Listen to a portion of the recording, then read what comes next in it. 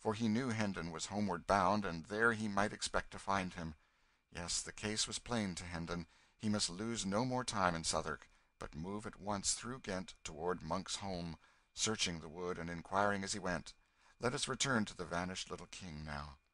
The ruffian whom the waiter at the inn on the bridge saw about to join the youth and the King, did not exactly join them, but fell in close behind them and followed their steps.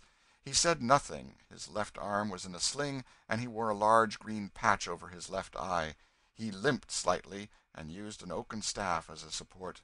The youth led the King a crooked course through Southwark, and by and by struck into high road beyond.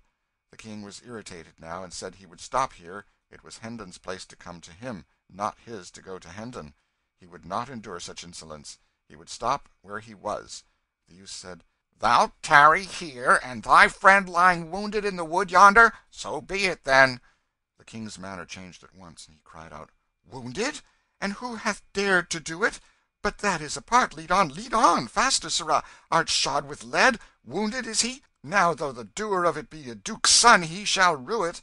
It was some distance to the wood, but the space was speedily traversed.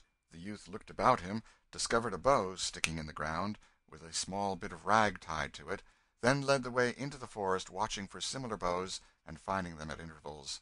They were evidently guides to the point he was aiming at. By and by an open place was reached, where were the charred remains of a farmhouse, and near them a barn which was falling to ruin and decay. There was no sign of life anywhere, and utter silence prevailed. The youth entered the barn, the King following eagerly upon his heels. No one there. The King shot a surprised and suspicious glance at the youth, and asked, "Where is he?"